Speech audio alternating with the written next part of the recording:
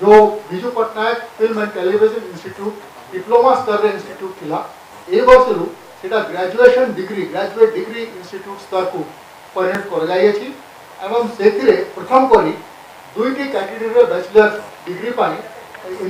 admission परीक्षा करा जाइथिला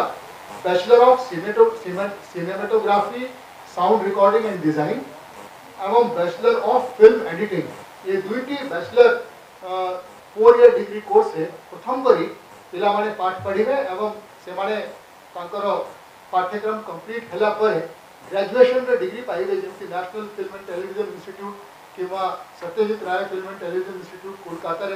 bachelor degree दिया जाउछि वर्तमान हमर राज्य मध्य ये दुईटी क्षेत्र रे डिप्लोमा बदल रे वर्तमान ग्रेजुएशन डिग्री पाठ्यक्रम आरंभ जाउछि